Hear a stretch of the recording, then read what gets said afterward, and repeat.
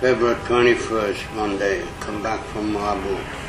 Personal upkeep, time consuming, leaves me with feelings in old, in need of repairs, in need of help, But still be able to walk from Christie to Bleecker, a quiet rage against the business, waiting inside me for the moment to make a final non-return of break.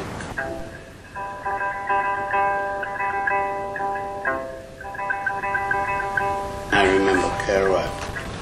C'est une idée beatnik d'un Américain jeune et blanc, following the footsteps of a hero.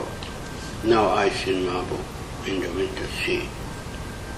Just concentrate on the Main Street coffee shop from Lowell. Thank you.